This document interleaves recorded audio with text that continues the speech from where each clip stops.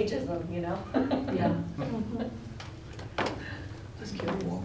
Right, exactly. He's eight. Nope. Right. Okay, you ready to go? Yes, ma'am. You're good to go? Okay, okay. let's go ahead and call to order, and if we could get a roll call. Carla? Chair Dodwell. Here? Councilmember Dillard.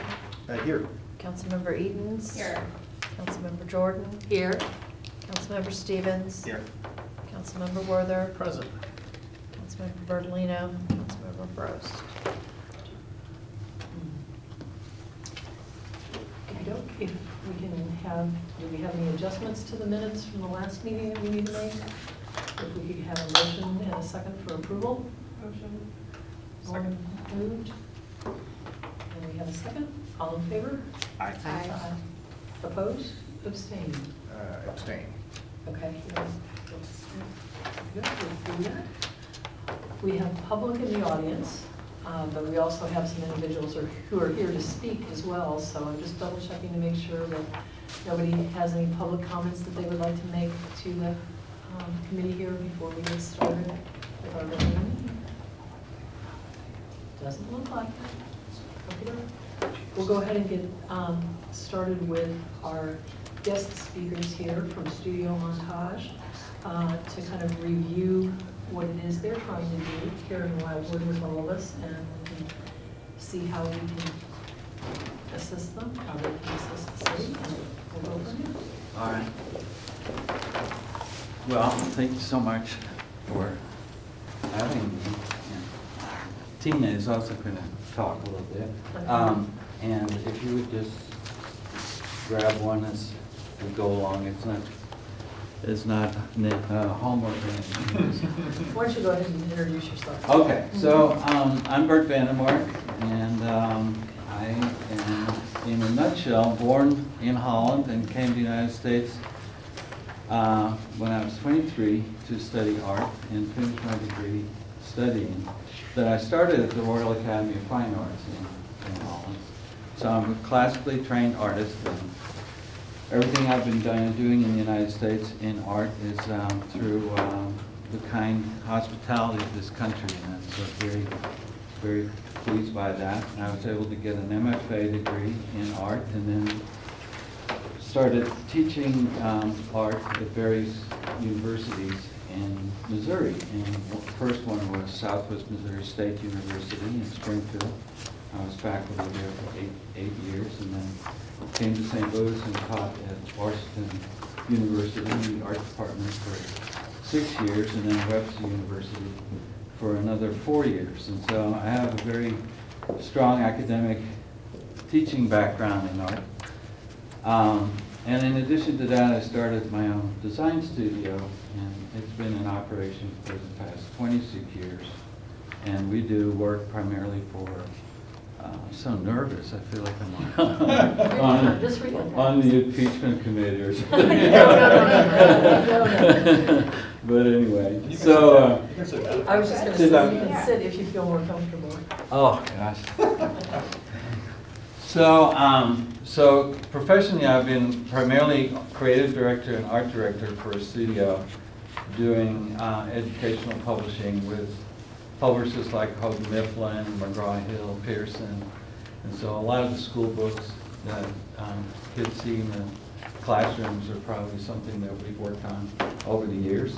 And um, so I had a building in Shrewsbury, and I had, um, at any given moment, about 12 artists working for me, doing digital design and working on projects. And, um, and then, you know, the workforce kind of changed into a digital environment, and where people are not really required to be in the same building often on every, every week. And so I've become now a virtual company, and since we moved back to Wildwood um, about a year ago, um, I was looking for some um, office space to um, to work in, and um, and Miller House was um, kind of jumped out at me as a good environment, and so um, so I moved in uh, in August, and with a purpose, and and that purpose seems to be unfolding itself on a daily basis.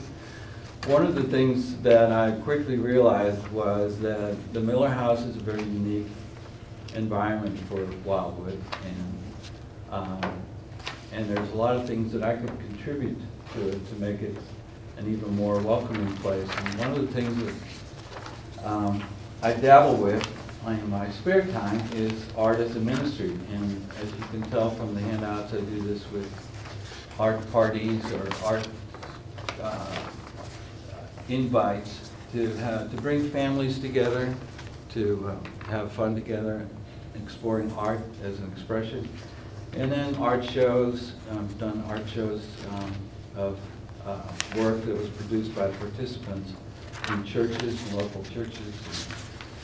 Um, Using art as an encouragement to work with um, youth struggling with how to spend their time away from the electronic media and uh, being less preoccupied with their phone and uh, getting them into an opportunity to have dialogue with each other. And so everything about me has to do with bringing families together and creating events that, um, you know, that, that, that transform or help transform lives. And so, um, so as I started talking with Andy about that, I mean, that's exactly what the Miller House is about. And, um, and I thought, you know, and it's weird, it- Miller House is a weird place because it's not really about coffee, even though that's probably the reason why a lot of people go.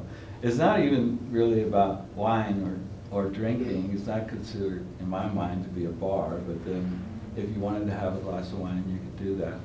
Um, you could also just bring your laptop and just sit and work and use it as a space.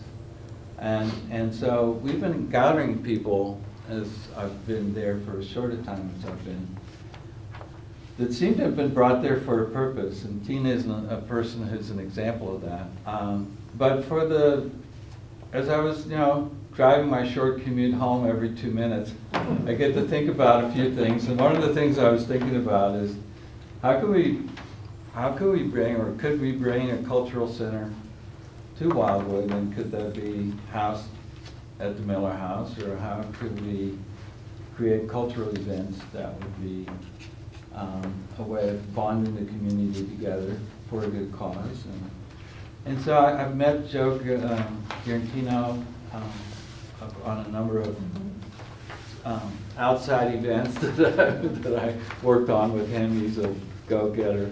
And then Julian was another person that I met um, who kindly invited me to project this onto you.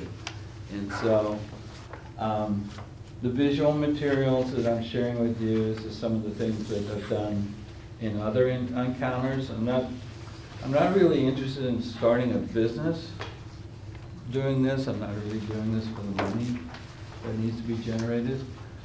But I'm finding that the Miller House is there, and it's a space, and it's, it has good vibes, and it has potential. And so I guess what I'm asking you to do is to think outside of the box a little bit and see, and at least make you aware that I'm there, and, and see if we could have um, some agreement about some events that we could maybe bring into the Miller House that would help cater the community. And so, Tina, why don't you come over and introduce yourself? Okay. She, again, was one of those magical encounters. So, yeah, my name is Tina Sayers, and I work with the Bach Society of St. Louis. Um, I'm sorry, the their- what society? The Bach Bach Society. Society. So I am their Director of Education and Community Engagement. And I also teach voice at Missouri Baptist University. Um, So I have a lot of connections with the arts communities in St. Louis. And one of the things that the Bach Society specifically, but I know other arts organizations as well, have been looking at a lot recently, is how can we bring in more audiences, new audiences, extend our reach. And so when I was sitting at Miller House working on my laptop, Bert and I struck up a conversation and, and he found out what I was doing and, um, and he said, you know, I wonder if, if you would ever be interested in bringing some people out here to do a concert, either at the Miller House or somewhere else in town. And I wanted to just piggyback on what he's saying to say we would always be um, open to doing that. Uh, So we have a lot of, we could bring either a smaller choir, we're a choir of about 80 to 100 singers, but we can, and they're, it's a professional choir. We do have volunteers, but we also have paid singers. Um, We have four young artists who are paid a stipend to, uh, to be sort of section leaders, but also we are training them up to be performers uh, in their own right. Most of them are either graduate students or recently have graduated from college with degrees in vocal performance. So we have a a soprano, alto, tenor, and bass. They often do community concerts and other engagements that are on a smaller scale as well, and they love to perform, so that would be a really easy fit to bring a smaller ensemble like that. We even do house concerts sometimes with them, so there are tons of options that we can um, discuss if we wanted to bring the Bach Society here.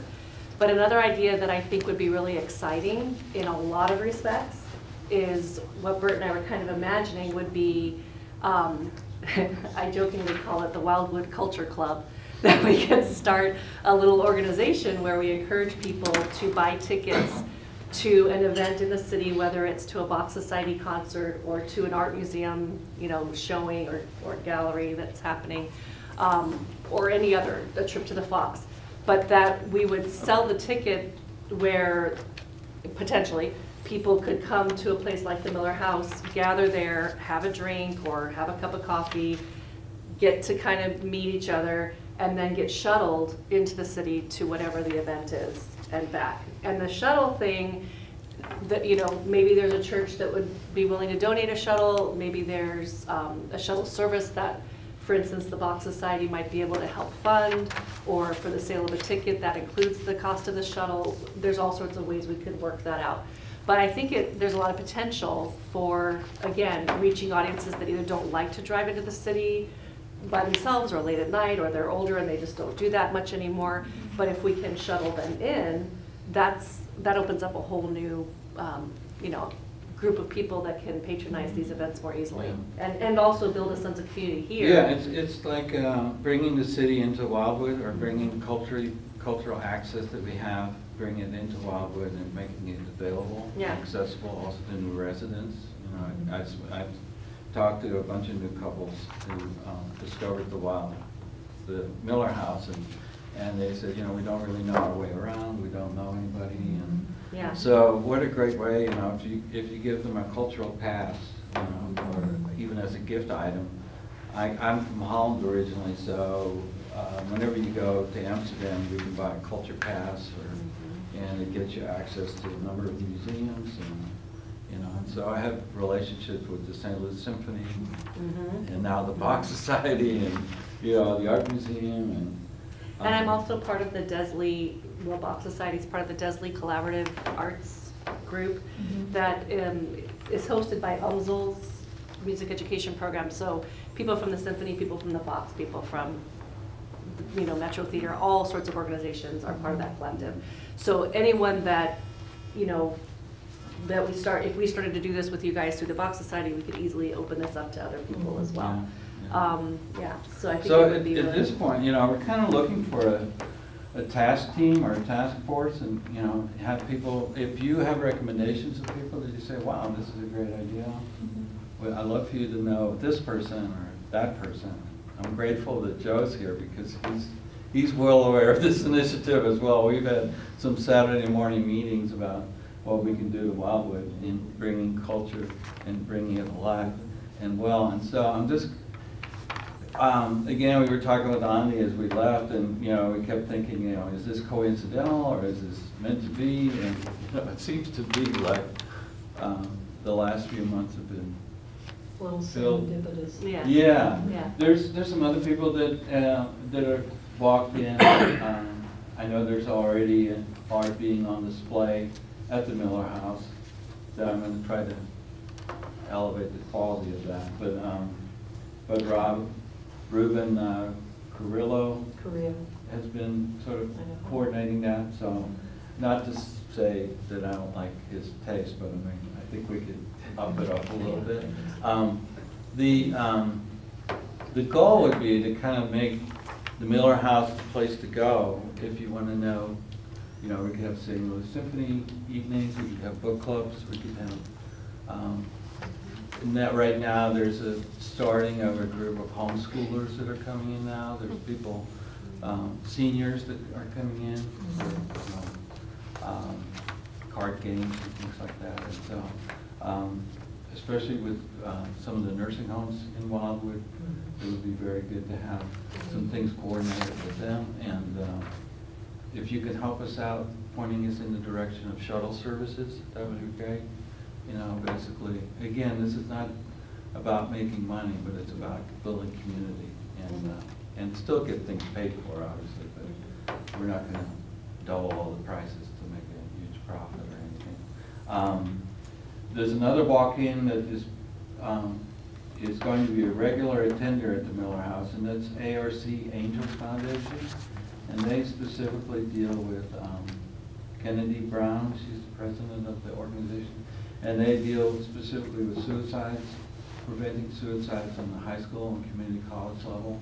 And they go into schools and do counseling and, and, um, and talk to parents and things like that. So, um, and I do quite a bit of stress relief through an art, not therapeutic art, but art is also, have effectively been using art um, in the rehabilitation of people who are dealing with uh, poor self-image. And I I have about eight years of experience doing that. So if we want to lean it into sort of a crisis or a help center, have some of that come in with counseling, especially in this society.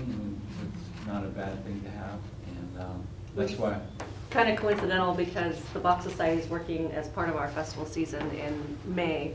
We're going to be doing a concert on um, the power of music in terms of healing and Yeah. what, it- how it affects your mind and your psyche and all of that. So Yeah. we were exploring that with some faculty at Maryville in their music therapy department. They're going to do a presentation on that as well. And we were doing a concert about that. So it's funny how that all kind of ties I'd together. like, I'd love to have a closer relationship with the Wildwood Police Department and uh, incorporate the fire department as well. And, you know, any trauma relief for their families in serving the community. So it's, you know, veterans, very important aspect of this as well, so. Anyway, that's about all we want to say maybe right now. Any So- questions? When I met with Bert back in November, and he presented this concept at that time for some kind of a cultural community space in Wildwood, bringing in programming, workshops, and so on.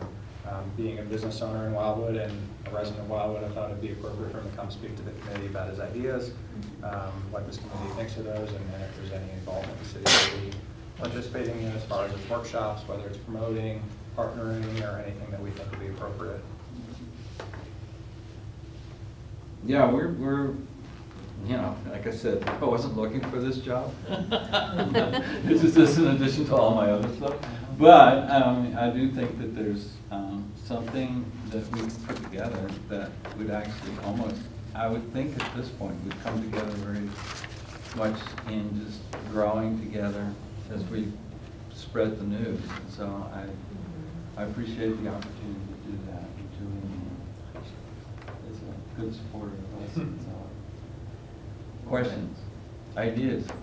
Lauren, I think you were. I think Cheryl was Cheryl, first. I'm sorry. I'm pointing at the right person, I'm saying the wrong I know what you meant. It's okay. Objections? Yes. No, I, I had a a couple questions. Um, I noticed that you mentioned in here a ministry angle as well, at least in the past. Is that still part of what you do? And how does that- yeah, How does I- that fit into, I know you said some self-help Well, it's, it's very much of who I am. I mean, I'm, I'm a committed Christian for the past thirty years, and uh, I do a lot of Bible study groups, and I'm one of the leaders at Grace Church and McKelvey Road, Grace Church St. Louis. And so, um, one of the things I am offering on Friday afternoon is a Bible study open to anyone, the general public. or- And interestingly enough, I've, you I've had four pastors stop by my office lately to introduce themselves, and so we're gonna be, I'm going to be working with Living Word Church, and then also very well connected with New Community Church in Wildwood, and I'm, I'm trying to get connected with the Wildwood Christian Church, and, um, So, yeah, um, prayerfully, Bible study. And usually when I do painting classes, I, I teach from the parables.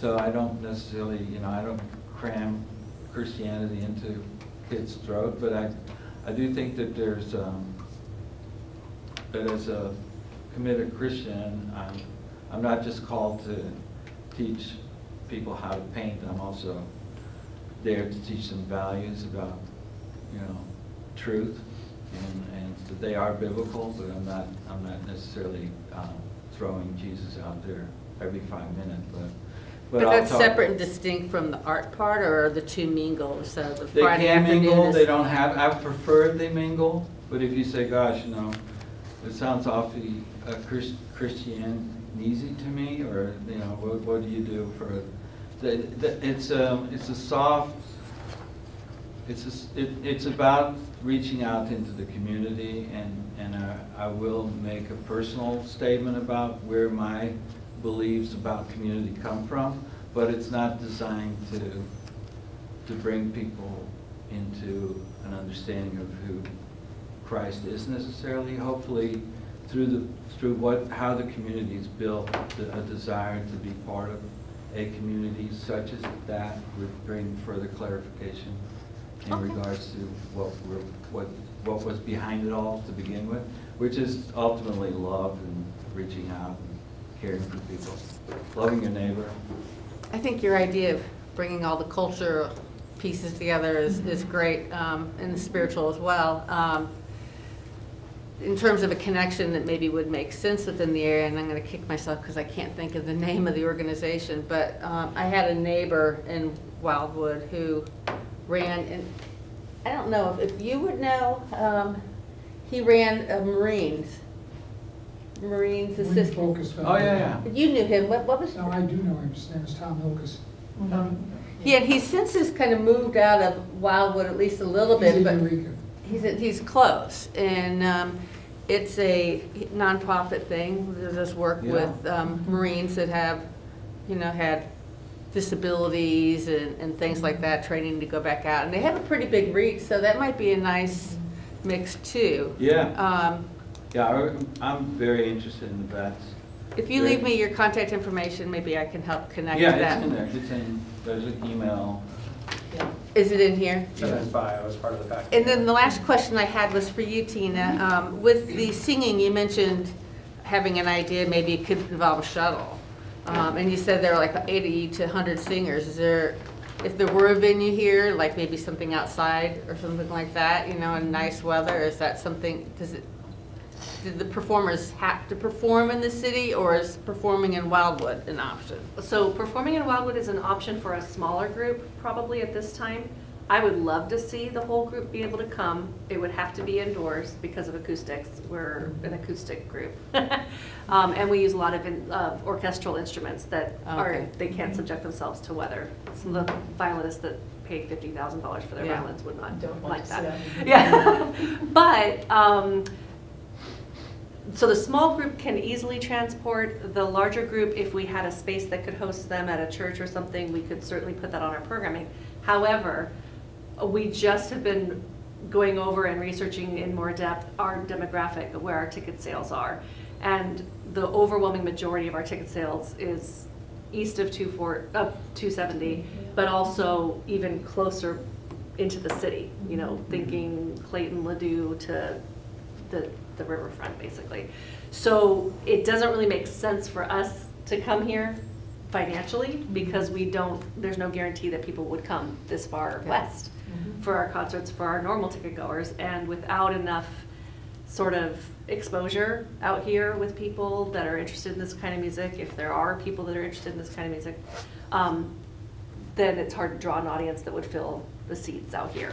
So I would love to say yes, it would be a harder sell administratively, but maybe by doing these things and building up an audience, that would open more doors to that in the future, which would be fantastic. We would love to expand our audience base a lot, so. Yeah, I mean, uh, there's the Bach Passion Mhm, that you're doing in mhm. March. The St. John Passion we're doing in March. Again, that, that would be, why would that not be made available? uh, Right. You know, Right. as an opportunity for Everybody people to should go. go through that one.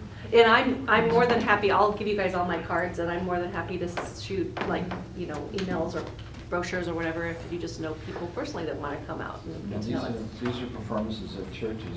Mhm. primarily. Mo- Most of them are churches, we do our Christmas performance at Powell Hall.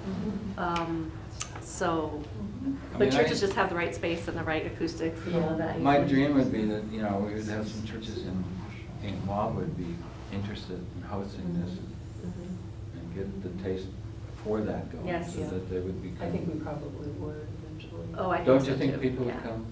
Oh, I think so, if we have something. Um, I'm going to turn it over to Please. Lauren, because she had a question, and then we'll get to Tim. Okay. Um, so a couple of things. Um,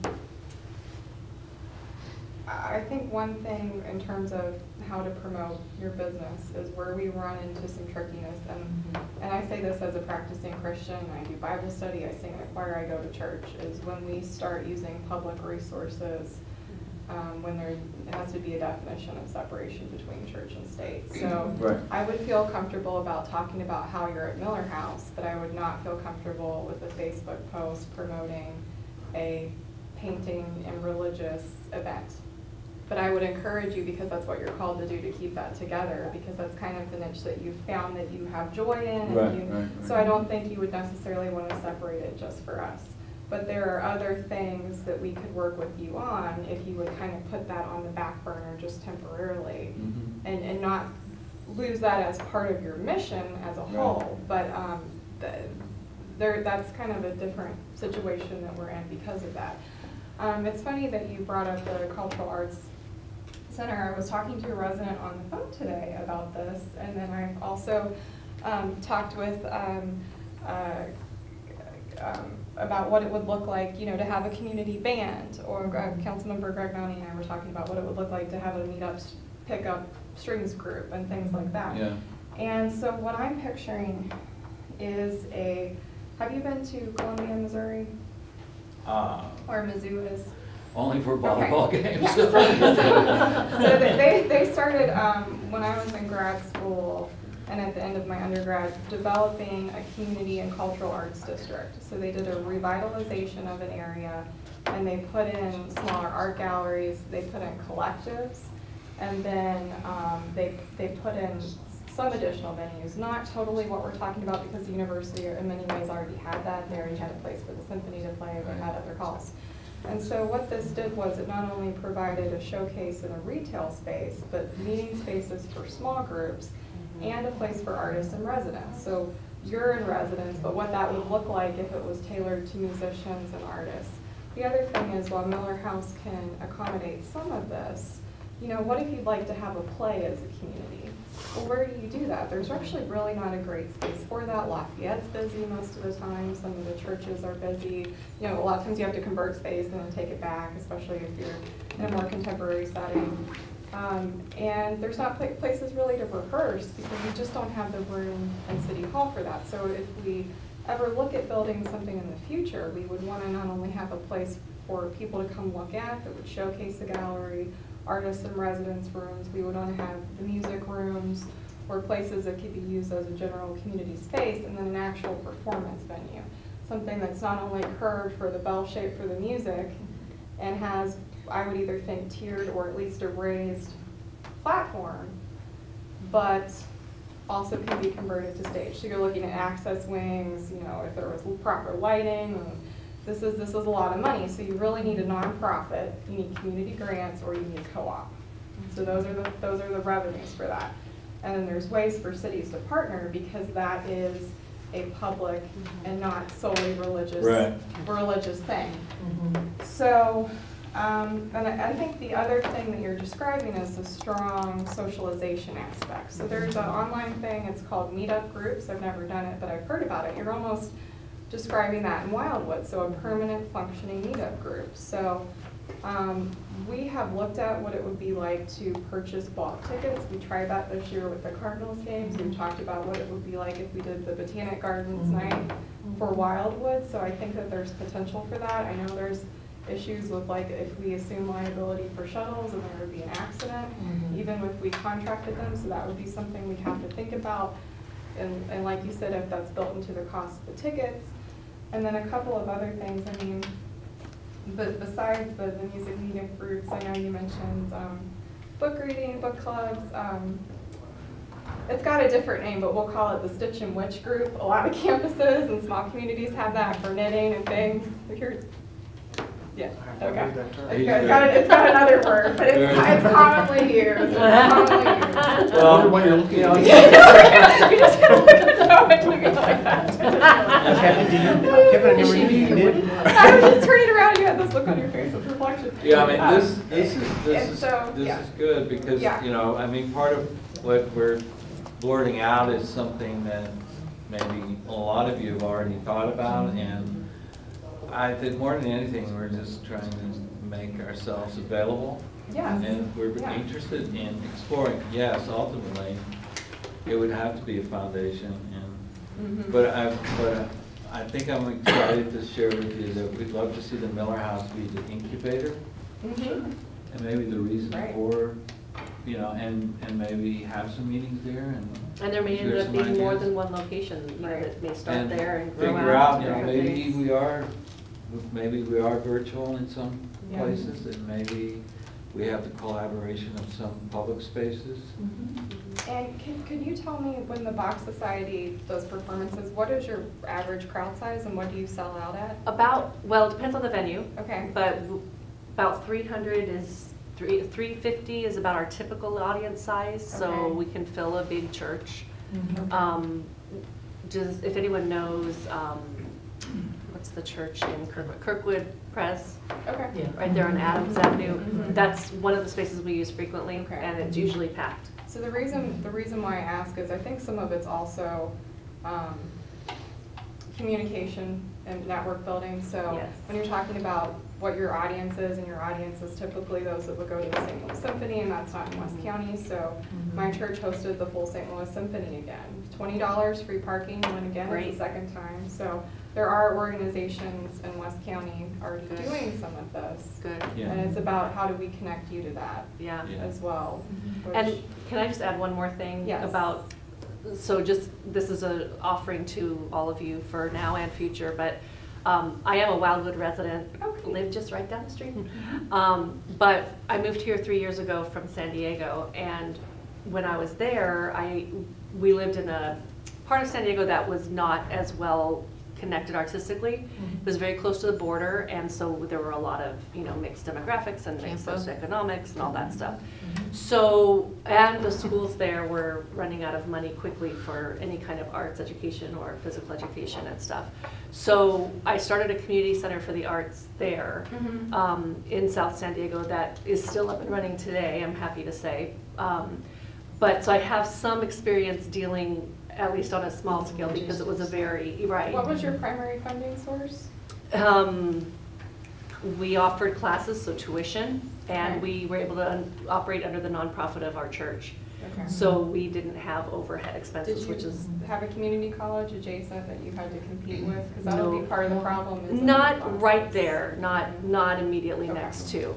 Um, and I don't know that this would be that kind of a thing. I don't know that this would be, you know, um, a place, because we did like music lessons and dance lessons. and- Yeah, we've got the ability here. Right, but you have to that with have that. that Mhm. Within our public schools and many Right, of our right. private schools Yeah. quite extensively. I'm going to switch over to Tim. That's because okay, we- that's We okay. do, we are in a little bit limited time frame tonight. Yeah, appreciate mm, you both coming out and talking. I think the Miller House, I'll tell you, I think it's a perfect opportunity to kind of, as I would say, dip the toe in, put your foot in the water, or whatever, just kind of get that, that started. Um, Admittedly, our, Mr. Goodrich, I know is behind me here, um, and he- he'll, he'll probably listen to this, probably make a note of it, and then might want to get back to you. Uh, Our art festival in the fall, It's great. it would also seem to be an ideal opportunity for small Yeah. group of the Bach Society, Society to perform at. I know Mm. there's And music for a groups booth there Yes. from time to A time. booth for art lessons during that As process. well, Yeah. yeah, I mean, that's Mhm. one aspect of it. The other aspect of it is the art side of it, Yeah. which I think provides you, Bert, an opportunity as well. uh, So that there are perfect opportun, there are a number of opportunities there uh, to see things by using the Miller House as a, as a starting point, getting the name out. So that when the fall comes around, if, if Bach Society gets hired per se, uh, to perform, it's a perfect opportunity. Bert, if you end up with a booth at the, at the art uh, festival, it's a perfect opportunity for you to get Yeah. outside those walls. All those things tend to stand out as opp- immediate opportunities and Mhm. thoughts to at least grow things. Yeah, we, I, I wanted to meet with you because well, more or less, I'm, I'm not quite sure like how to advertise it, whatever this is yet. you know. Mhm. And we, I don't want to come out of the box mm-hmm. Right. in the wrong, with the wrong tone, so. Mm-hmm. Right. And we also don't want to step on the toes of other things And we you don't know want are it, to- going we don't really want it to be about the Bach Society, Yeah. and I don't want it really to be about me, but at the same time, I'm, s- I'm such a, I could, I really would love to be involved in the art festival. The point, and Maybe yeah. look at some of the art that's Mhm. going, and, and on behalf of Wildwood, and sort of be used as a filter, because, I mean, eighteen years of art education ought to be put to use somewhere. Yeah, well, it sounds like we need to perhaps. Continue the discussions Continue Yeah. the discussion, meet. We're not advertising meeting, anything yet, may- we're not posting anything on offsides Facebook of yet. this problem. meeting, because we've done, we've done that with a couple of other things, and I'll take a poll of the group here and see who would like to perhaps do Yeah. that Uh-huh. later in uh, February. And um, let us all percolate some of this a little bit. we're um, not on a deadline. I think a lot of us are excited about, we've got a lot of artistic activities going on in our high school and at our middle and elementary levels. So if we could somehow blend those in Yeah. with this as well, um, that would be wonderful so that we can provide venues for our younger um, students who um, want to pursue those careers Yeah. um, to understand what's out there for them by you guys bringing in some of the adult versions of what they enjoy doing. Yeah. Uh, That would be a plus. And then the healing arts that you were talking about doing, and I'm going to call them healing arts, um, through singing, drawing, painting, and the conversations that it elicits from individuals when they can, they can touch something tactile or use their voice in some way Mhm. to be able to express their emotions um, is a benefit not only to the people doing those things, but to those of us who get to see it and hear it and experience it from various uh, forms. Uh, We've also got Dr. Greg Gregnotti back here, who's very tied in with uh, the veterans. Um, And so that's another resource that we can also engage. Yeah, if you- if you could, um, again, um, uh, brainstorm a little bit about what, it- what what it would be called, Yeah. what it would be, and, and who we would want to be involved in. Well, how about we do this? Um, We'll, we'll finish our discussion here because we do have quite a few other things that we Yeah, need to go through this morning, this evening. I'm already on to tomorrow. Um, And then. And I'm all um, for just having a, having a dinner, and having meetings, and We could. have a glass of wine, and maybe do it at the Miller House. And uh, invite the kids and do a little, you know, bring the kids and I'll do an art sample and uh, have a brainstorming there. That Yeah. sounds great. Well, we really appreciate both of you. Oh, thank you Well, for thanks for hosting us, we appreciate it. Absolutely. Yeah, I'll give All you my good- cards before I leave. Perfect. Perspectives from you guys. Thank you. Thanks, Bert. I, Thanks again, I have Jenna. one kind of follow-up point. I, th- I think it'd be interesting to um, check with the city attorney about just how far that separation of Yeah. Church and so, state too. is, because I think, I don't know why we couldn't, you know, say this is what's going on somewhere. That's not quite the same as having got in the city government, you know what Yeah. I mean? So. Yeah. and maybe it is a fine line, maybe it's not, but I'd- it'd be interesting to hear Yeah, I- I specifically. want to investigate that. And I've, and I've, you know, I've been, I've, I've been on mission trips doing this in, in cultural environments, like the Czech Republic, and where they've invited me to come and speak at a university, which is a public university. And, um, and, and then they discovered, oh my gosh, he's a Christian, you know, so, so then the criticism that I get thrown at me quite often is, um, well, you're just here to, to, to witness Christ. And I said, no, I'm just, I'm here as an artist, but I also happen to be a Christian. And so, um, so I've had some confrontation in that area, so I'm aware of that. And so this would never be advertised as a way of uh, proselytizing but it's more, Mhm. it, it just becomes public knowledge that, that just comes with, that's what drives me. And so, um, so people are very interested in learning that because in a way also, and you- cannot really touch the process of creativity and not come up with the reality of the divinity. So it's almost like, you know, there's a lot of songs you could sing, but if you go to uh, the Bach Society, you're going to hear. He was a church musician. You're gonna, you're gonna hear, you know, you can't go to. you Yes, can't- my bad, yes. You can sing the Messiah and not believe, but you Right. can, but you're still gonna hear. you. So anyway. So I'm out of cards, I- they're not on me, but Yeah. I can bring them by sometime if you'd like. Sure, either Okay. that's fine, or, or Yeah, and this is. just, just uh-huh. shoot your information. you Okay, can I'll get do it, that, and then- yes. Okay, I'll do that. Thank you, yes, Thank you very much for. Thank you. Thank you all. Thanks a lot. Uh-huh, we have one other individual that, uh, from the public that would like to speak. Um, I know we had our public speaking earlier. Anybody- Oops, sorry.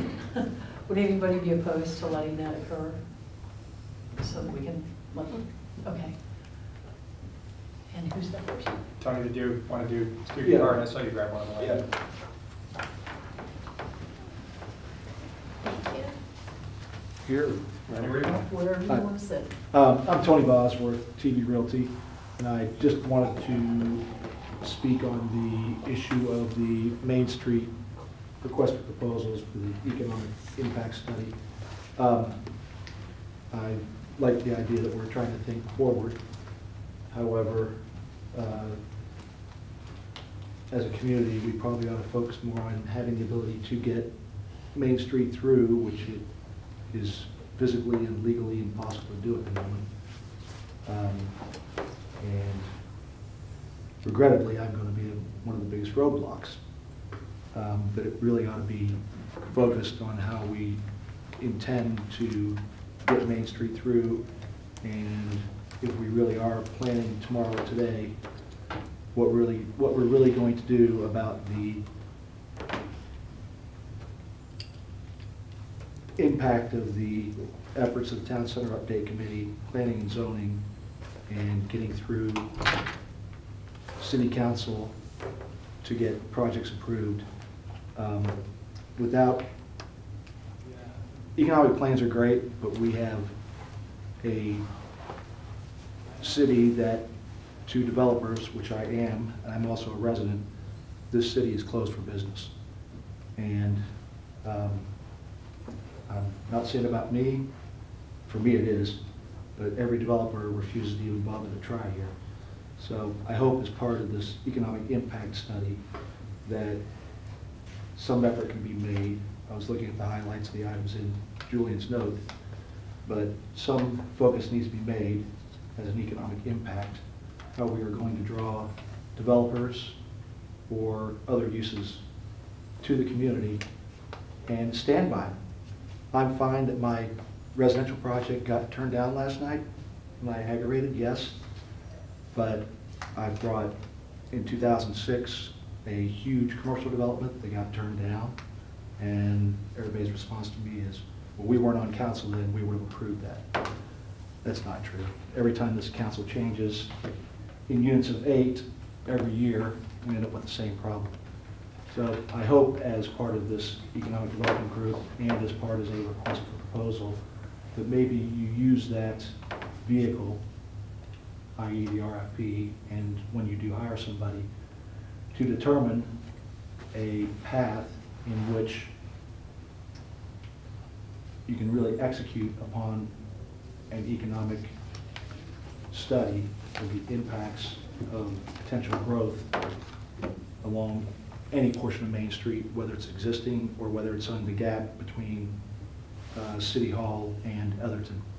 Uh, So I hope that it gets looked at on a broader scale.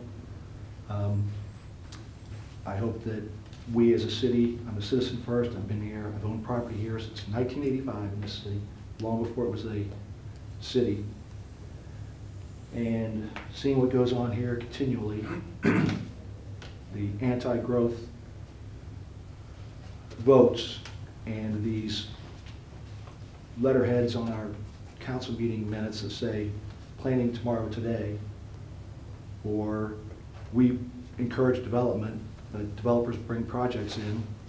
For instance, my project at, uh, uh, my listings at Main Street and 109, which we are going to be in trouble with because we can't get drive-throughs. But we need to find a way to make the city, there's no use to look at an economic impact study if there's not going to be any economic impact um, brought into this community by developers, tenants, whoever, residents. Uh, And I say, I respect what people say about density and this and that and the other thing, but uh, if we're going to say that we have a master plan that we want to abide by, then let's abide by it. And when we do these studies, let's make it based on those master plans. So, Those my comments. Thank you. Thank you very much, Tony. Okay, our next topic is reviewing the RFPs to look at economic impact Thank you, studies. sir. So everybody has a background memo. Um, Thank you. I think That is five. Actually, put it on back to Dr. so you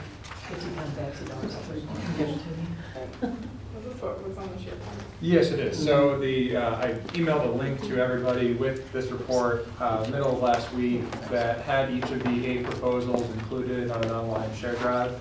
Um, This was just so that, for comparison, or if you'd like to refer to them during the discussion, you all have a copy of the actual proposal that was submitted. Um, This discussion started back at the uh, September meeting with a review to discuss the potential for an economic impact of the Main Street extension, um, which we picked up in October, and the committee instructed us to prepare a request for proposals uh, to solicit development, uh, development firms, consulting firms, to uh, pull together a economic impact study of the city's proposed Main Street extension. Uh, In November, we drafted that RFP. Uh, The committee had a chance to review and provide comment. We sent it out uh, just before Thanksgiving and gave all the respondees just over a month to to review and respond. The deadline expired on December 20th. We received eight responses back. I provided a summary report which outlined the, uh, the basics of the responses. Uh, We did receive those eight um, proposals from a number of firms, actually all over the country. Several of the eight firms do have connection back to St. Louis. One is St. Louis-based. Um, Several others have partner firms or uh, outside contractors that are based in St. Louis. Um, Much of the approach between all the firms is similar in nature. I think every firm has their own spin, but we did identify within the RFP a list of of tasks that we really wanted to make sure were completed as part of the response. Um, So a lot of the approach is is pretty similar in nature. Uh, The schedule as well, uh, we made sure that this was, it was an RFP, so we were requesting proposals, um, but we wanted to make sure that it was more about the qualifications than it was a a fee-based approach. Um, Because we identified a list of tasks in the RFP that we wanted to make sure the the firm had the opportunity to respond to, um, we, we do have these proposals inclusive of each of those tasks that were identified. Um, That being said, this is, this is still an opportunity for us to review those firms, their qualifications, their partners, um, so that if we maybe like a firm, but maybe not the fee, we can always use that opportunity to work with them to renegotiate an agreement and figure out what the best approach might be. Um, After reviewing the eight responses that were submitted uh, between the city administrator and myself, um, and just looking at their approach, the schedule, and the estimated fee, um, we made the recommendation in the report to proceed with interviews of three firms. Uh, Those three were Development Strategies, which is based in St. Louis, uh, the Montrose Group, which is based in Columbus, but their um, partner, uh, Bob Lewis from SLU, is based in St. Louis. And then RKG Associates, who's based in Boston, but is partnering with the Kaskaskia Engineering firm, which is based in Belleville. Um, We think each of those three firms will do, will do and could do a great job with the project. Um, We wanted to provide the summary of the responses to this committee, as well as the content of each of the proposals, uh, so that the committee can decide how to move forward. Um, I I- I framed this process based similar off how the RFP for the Village Green was um, organized. soliciting responses, scheduling interviews, um, proceeding at that point with three firms uh, to interview between uh, key city team leaders, um, members of the committee, uh, to decide which of the firms the city is most interested in pursuing uh, a contract with. Um, As I noted, th- this is mainly a a response with qualifications, so uh, I think the, the content of the proposal is just as important as the fee. If if the committee decides that we like one firm, uh, we can always negotiate the contract with that firm to suit the needs of this committee. Um, But that was the recommendation of the city administrator and I, and I'd like to see what the committee believes. Tim? Yeah, as I went through everything, I, I agree with two of the three easily. Montrose and development strategies are straightforward to me. Um, Nice to see organizations that are both based here but also have outside experience, would probably bring both in to the mix, which is nice. Uh, RKG and Associates, to me, they were kind of middle of the road, but maybe that's just my, my view their proposal compared to others, but of course, you know, you read too many proposals, you start mixing things up. And I was, um, but that's, you know, if, if we're talking about three interviews, I'm fine with, if you wanted to throw RKJ, RKG back into it. Uh, But the two for me were certainly development strategies and Montrose. Okay. Lauren? Um, Oops, Niles was next. Um, When I brought this up, I wasn't sure, I've never done an economic development impact study, but of cost. Um, Seems like a big number for, for this type of, project. what's, what's the driver for, for the cost on these? Is it the, you know, the, just the labor that's involved, or the, I'd say there's, there's probably three components to that. Um, One is the, the market analysis, determining what type of development, scale, combination of uses is sustainable and feasible at that location.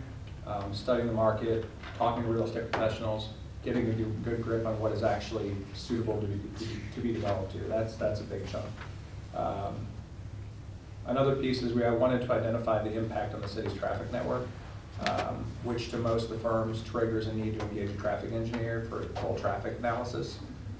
Certain firms that emailed or or called us and asked for the level of detail, I tried to hit hard on the fact that it's conceptual, intended to be estimates, um, just wanted to know what new traffic would be generated by the development at the location and what existing traffic on other arterials might be rerouted to this location.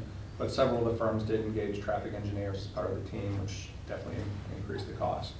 Um, Those, those two mainly, um, I think the interviews with development profes- professionals does add extra cost, but um, the proposals that some of the firms submitted with the fee breakdown, you can see which pieces contribute more of the cost, and traffic was big and market analysis were big.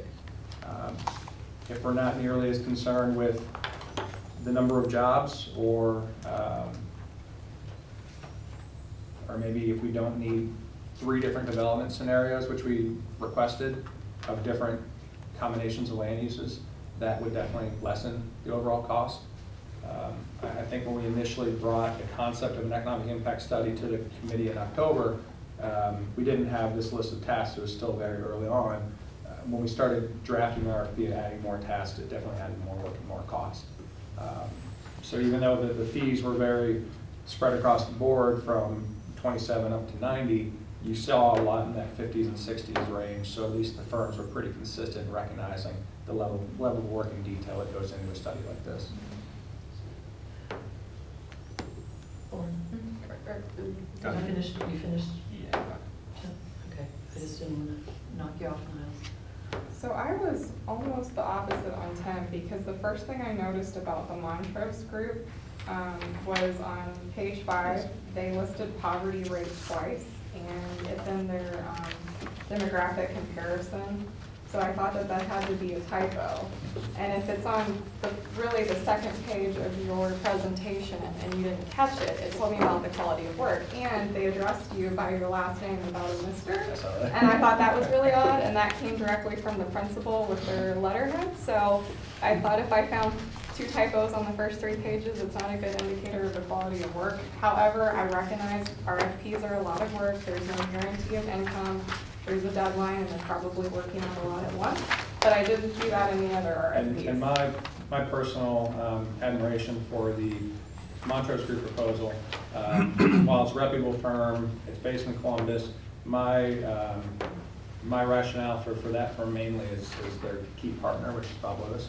Okay, Um, so we know the quality. that Oh, yeah. did. Bob, Bob was the principal development strategist for thirty years. He was the Okay. founder from nineteen eighty-five. And uh, most of the relevant projects that Montrose identified were Bob's projects in St. Louis. He is Mr. Market Study, Mr. Economic Impact Study. Okay, And I've known Bob for a long time, and I trust his work more than anybody's. so maybe that just wasn't reflected then, when I thought, okay, so then the other thing I thought, when I looked at all of them online, and right, when you read so many, it does kind of run together. I actually thought I liked, um, RKG's the best, and I think what stood out was the examples and the pictures of the diversity of work that they did, and when I read the bios of all of their uh, staff, um, the level of experience and the backgrounds that they had, I thought was quite impressive as compared to some of the other ones. I liked development strategies, that was my number two. My one thought was because they've done so much work in St. Louis, and when I looked at the pictures, I'm worried we're gonna get exactly what we've already seen in Brentwood and everywhere else. And were they the ones that did the pier? No. That was another That group. was Okay, so that, that was my only thing, is I would want it to look different, whereas I thought some of the other firms that had connections to St. Louis but we're based out of state may have a more diverse design group, because we, I don't wanna look like another neighboring city. But, you know, I think if we tell them that that's what we don't want, then that's what they'll do. Um, and then just two questions, what, um, why did A and E not make the top thirty or eighty? Amy. I don't know, I wrote the initials down in my notes, so that's not helpful at all, is it?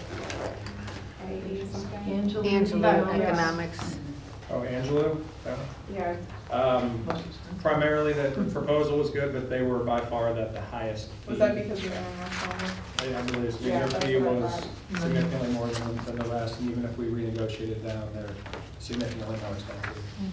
Okay, yeah, that's fine. The one, the other thing I liked about, um, development strategies, which Tim liked, um, I like that he, they covered specifically in their language on supply and demand, that it was contextual.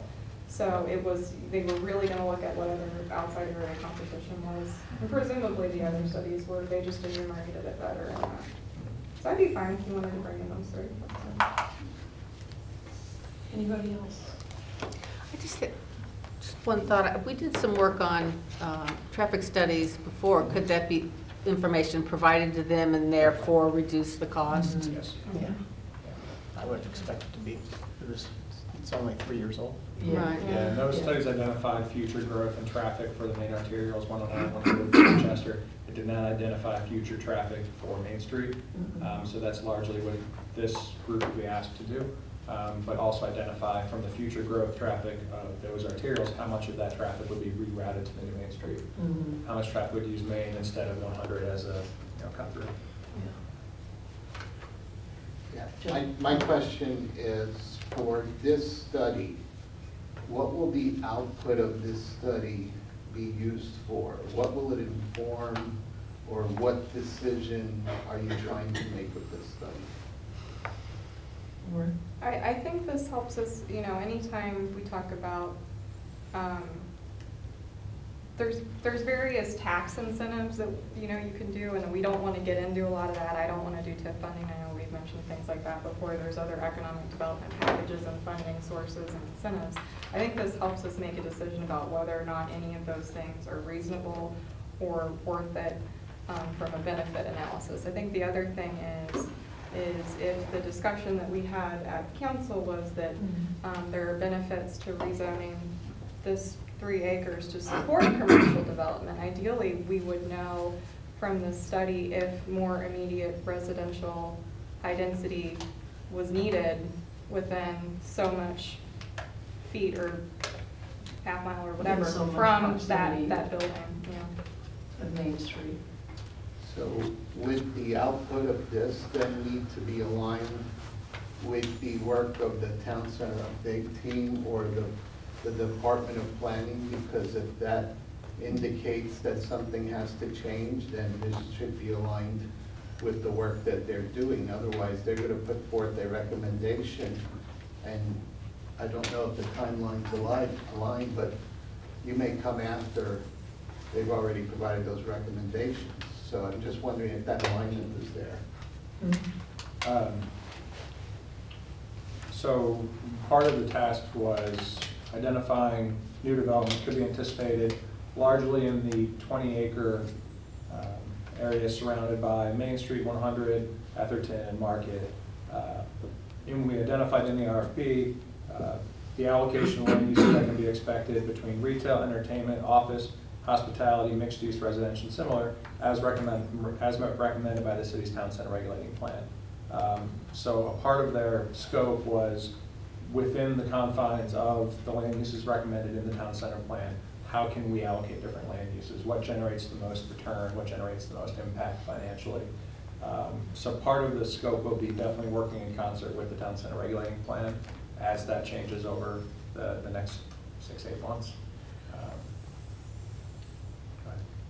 I think part of our purpose was to do this analysis so that we would have that along with the recommendations from the town center team, so that we could look at recommendations from the town center team, what kind of economic impact is that going to have potentially on our, our ability to develop a tax base that will support the community long-term.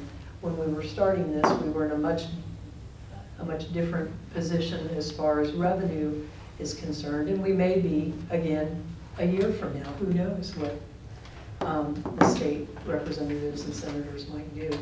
So our goal was to look at how we had it mapped previously, or currently, and then determine what kinds of um, developments could go in those particular areas to maintain revenue stream for the city of Wildwood. And that will then be used to base zoning decisions based off of what this study tells you? Or are you gonna use the criteria of what zoning allows? and the land Well, use they would plan? have to, we would have to use the criteria for what zoning allows as it stands today, Yeah, because I think and that's- then look at what, what the town center group is proposing as part of this process to determine whether or not those proposed changes in the town center plan, I mean, I'm, I'm gonna admit straight up that I was looking at the town center update committee plan, and I was a little concerned that we were cutting back on more of our downtown district. um, Even in that plan, uh, because that reduces the amount of space we have for um, business development. And I'm, I'm not trying to push people out of building homes and uh, having spaces within town center, but I think there needs to be some balance on it. So we're trying to use this particular task to get some outside perspective from uh, some expert individuals so that we can have a full picture, I think, when, it when it gets back to council, in addition to the recommendations from the, the team that's used a lot of time, a lot of effort, and talked with residents. So we're not gonna kick that down the street at all. Yeah, I think it would just, it probably would be helpful to make sure there's alignment between the town center update team and then what this study says. Otherwise, we're asking the town center update team to do all this work. They're having the public come and talk, and you're not, you- they're not using this as an input into that decision-making. You're actually waiting to make the decision later on. So therefore, then you're over- potentially overriding what they have recommended. So I would think it would be helpful if you can, I see an opportunity to connect the dots between the town center update team and the Oh, yeah, economic I, development. I totally concur with that, that we would have to have a discussion with that team as part of this effort, I think. And I think at its core, most of the firms really hit on it, part of the proposal, this is it's a cost benefit study. Does the benefit, does the economic impact and the financial benefit of extending the road outweigh the cost of building the road? And if so, by how much? So just one last follow-up to that. I mean, I think we've been committed to extending the road. I don't think there's any doubt that we don't want to extend the road. So I'm just wondering, you know, is there some reason why we would doubt ourselves that we need a study to tell us that we want to extend the road? That's all. Nice. Um, And I, I appreciate you bringing that up, Joe, because that was one of my questions, is not just the overall, how are you gonna use this, but like specifically, how would you use this if, say, a developer came to our economic development manager and said, hey, I'm looking at doing ABC project in, in Wildwood, um, like how useful would this actually be for you? I think it'll be useful having the direct feedback from the developers of what is sustainable in that location and what the, what the attached financial gain is to each. The the combination of land uses, how it's distributed throughout the site, how does that, A, is it feasible? B, how does that result in revenue back to the city? Um, That's important. Um, Also knowing how it impacts jobs, what types of more, what types of development create additional jobs? What is the best use of the city's traffic network? Um, Using that to maybe target certain types of development um, or certain types of developers that fit within the realm of what the consultant identifies in line with the recommendations of TPEC. So, I mean, would this be, could a developer look at this once it's done to help them make a decision whether or not they're gonna invest I would in believe so, yeah. I mean, um, That's a good point. And most of the developers and developers, most of the firms also identified separately outside of the scope of this project to be available as contracted RFP writers, negotiating incentive agreements or redevelopment agreements of, of any kind with developers down the road. Most of these firms work hand in hand with developers on a regular basis. So most of these firms recognize that is the, the purpose and the intent of the document is to use it to attract the development. So while it's not essentially an RFP for development, it, it helps us get to there. Right. And then, um, as far as tying it in with, say, like what T-Cut is doing, or what the, you know, the Village Green design firm is doing, I, I was really looking at this as more of, uh, just like an all-encompassing effort, you know, of, of we, we have already decided that we want to, to extend Main Street, and that's a, you know, a goal of the city. Um, so, I just looked at this as, as its own separate entity, basically, you know, Town Center Update Team is going to give recommendations of what residents want to see. Um, this is going to give, you know, a very good idea of what businesses could see. Um, and the Village Green, the- the- yeah, and the Village Yeah, Green design is going to give, you know, kind of a, um, you know, put it into picture, I guess, you know, or put it into focus and, and give you a better picture of it. So, um, I don't necessarily see where they need to be perfectly aligned. I see it more as, um, you know, good information coming from, from multiple sources, so. Yeah. Joe, what's your perspective on this? I'm going to ask. Certainly, I've been participating in, certainly I've been participating in the Economic Development Committee meetings as an observer and then given the opportunity to speak. And when the matter came up, I offered no objection. I Mhm. think there's a benefit to it. Um, Firms that Sam and Julian looked at, two of which I would have selected as well, given the opportunity. And I didn't Okay. need the opportunity, quite frankly. They know what they're doing better than I. So I too, like Mr. Garritano, just want to make sure that we understand that if you're looking at economic impact from development, then we wouldn't have three acre zoning, Mhm. because that's the least economic benefit to that Mhm. property. Mhm. And so what I think that, what we need to look at is what uses will go there and those uses, will they generate the income necessary to build the street? Mhm. Because at the end of the day, I think we're better off if we have development build the street than the city. Sure.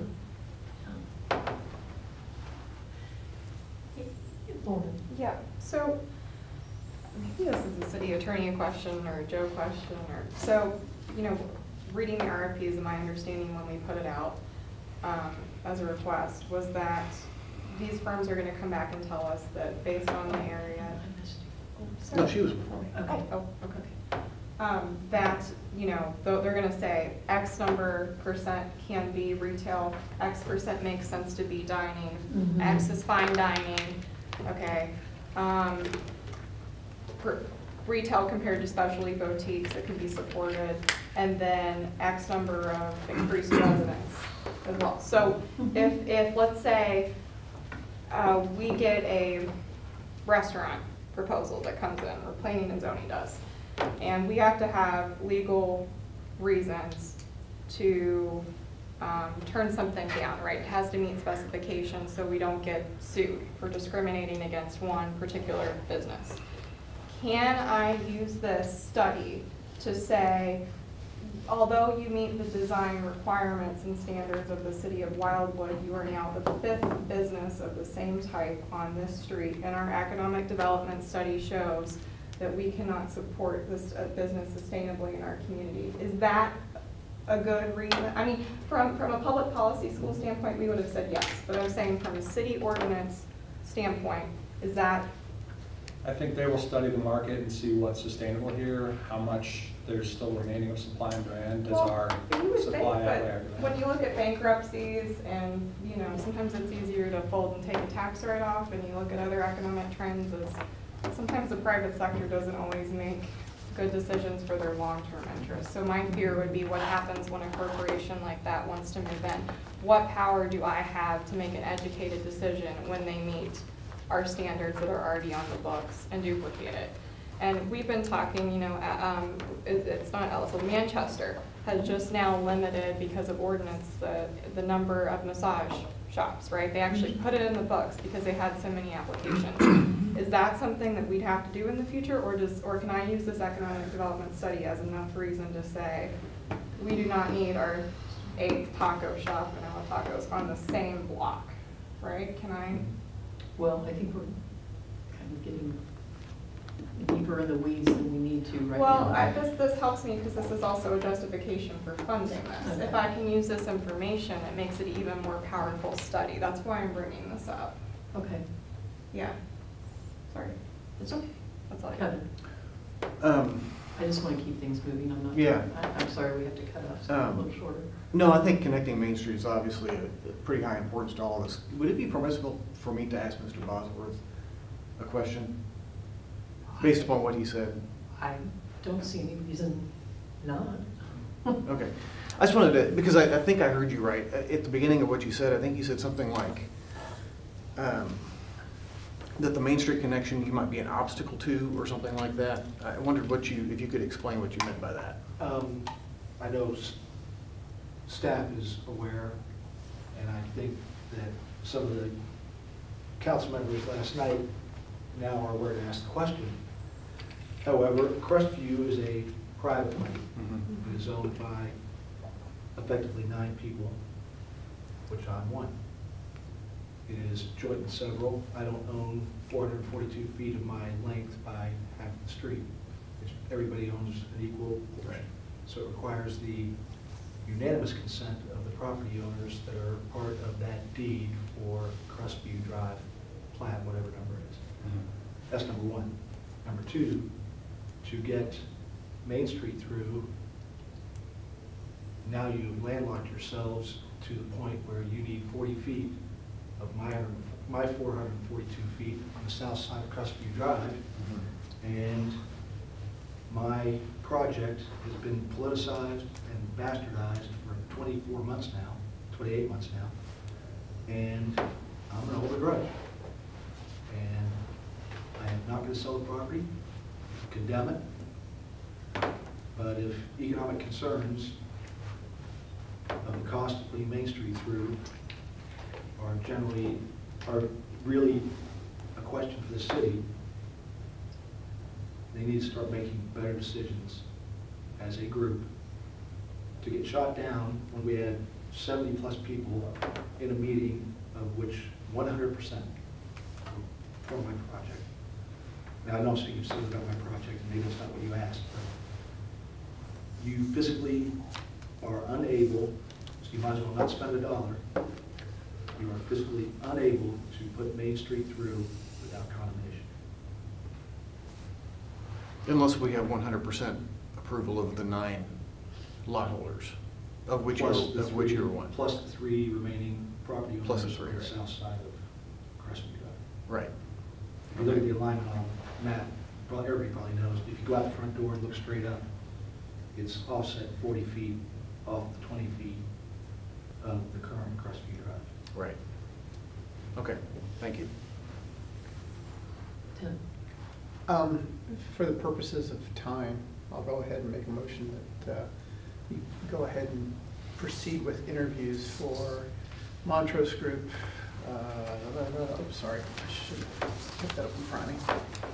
For Montrose Montrose. Development Strategies. Development Strategies and RKG. RKG.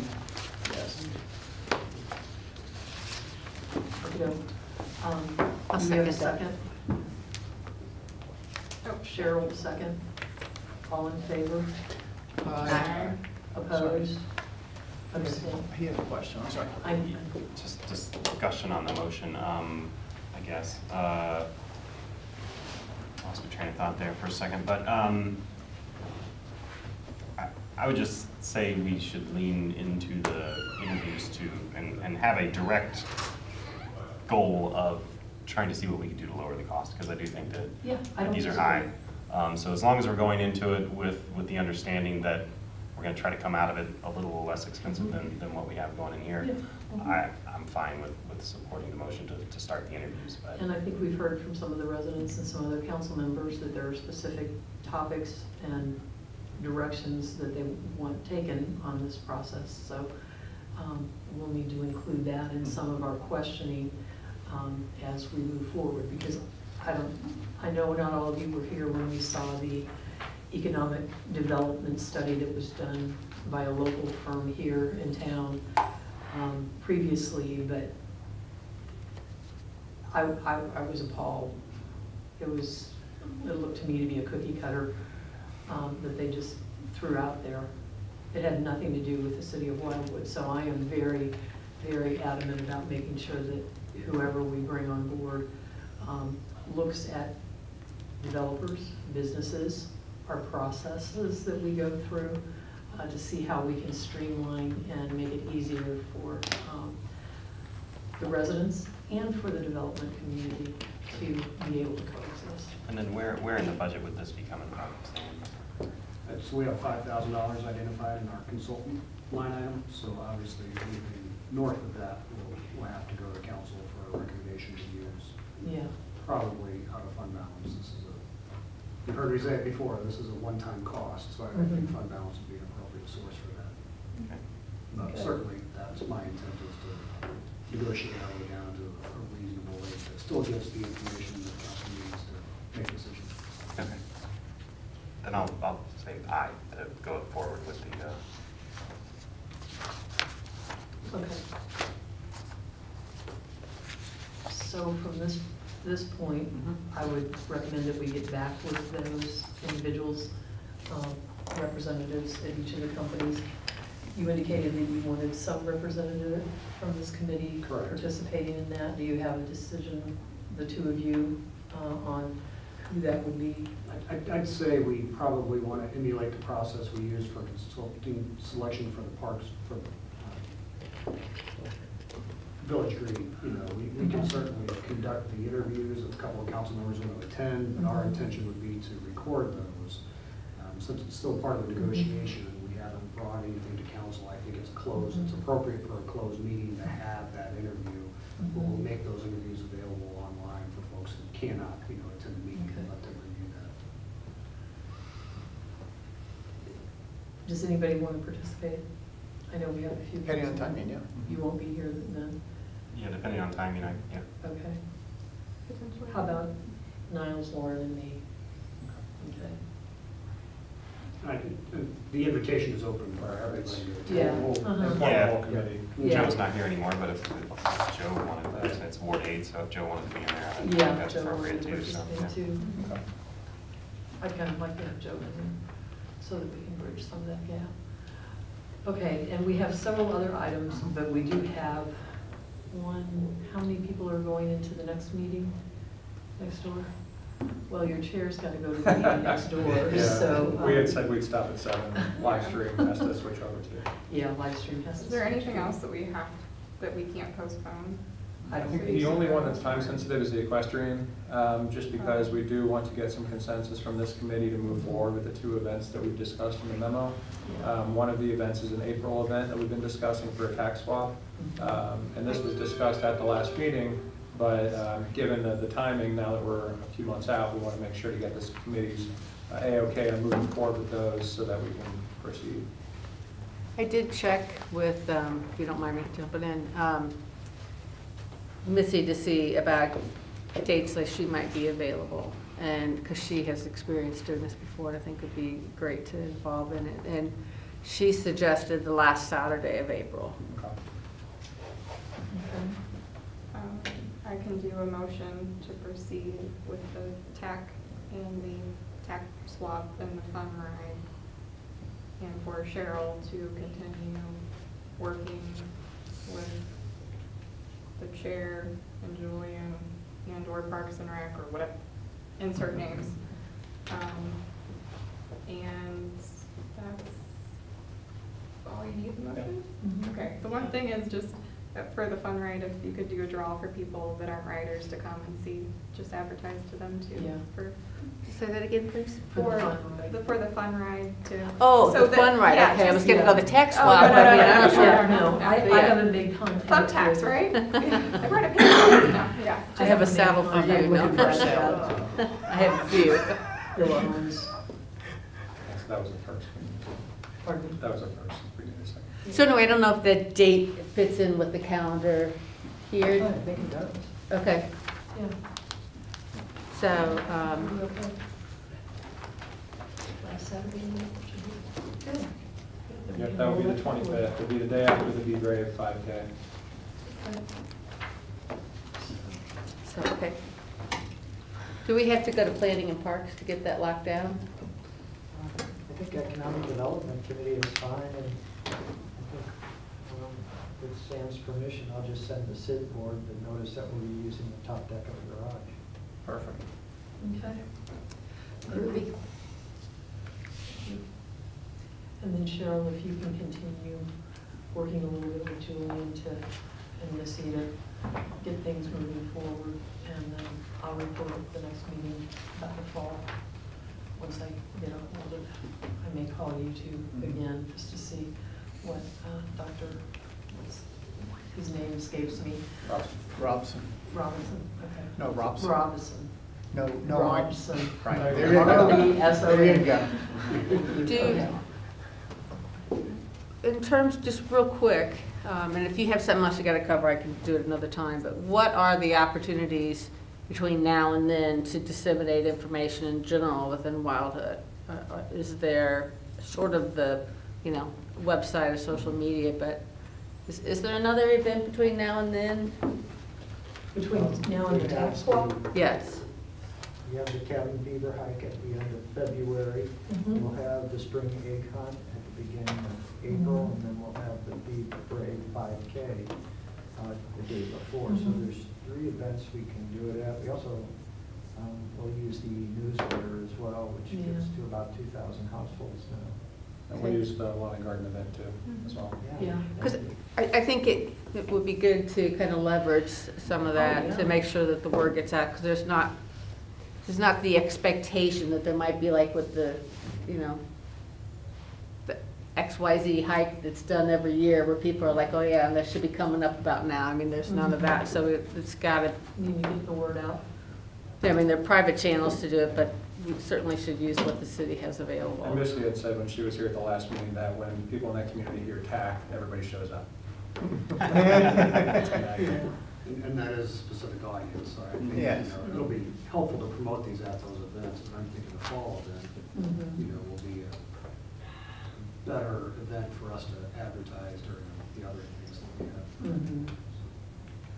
And just, we do have a few minutes left. Um, without needing to postpone the, the t-shirts topic, one important part of that was included in the memo is obviously this year is our 25th anniversary.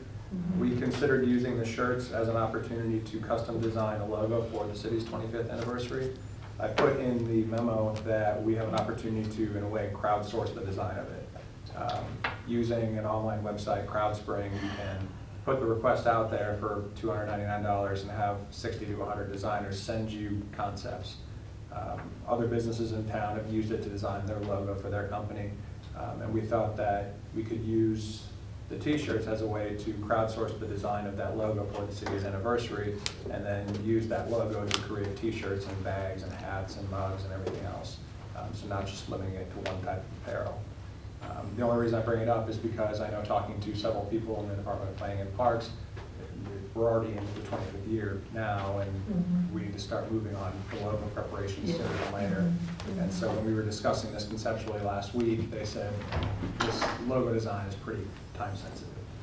Um, The crowdsourcing of the logo is relatively inexpensive, depending on which tier you choose to pursue. Um, I just wanted to make sure that the committee in in some way is aware of that opportunity, and at least in some right is okay with us pursuing that option. It looked to be the, like, the least expensive option, Yeah. really, Uh-huh. and more of a variety, so More I mean, why would you not want to do that, in my And then opinion? I'd say bring it to the next council meeting and say, here's, four, here's two choices. Yeah. And I thought we could even put the t- the finalists out to the residents to vote on on the website and social media. Yeah, that we need to- Might as well continue to do the crowdsourcing all the way Yeah. through. Yeah. That'd be fine. Works for me. Good idea. Do you have a motion to adjourn? So moved. I can't speak tonight. Second? From Cheryl, all in favor? Aye. Opposed? Abstained? And the February meeting will also be at five thirty, it's another night where we're double stacked with P and P, Mhm. um, so look for that February twenty-fifth, at five thirty.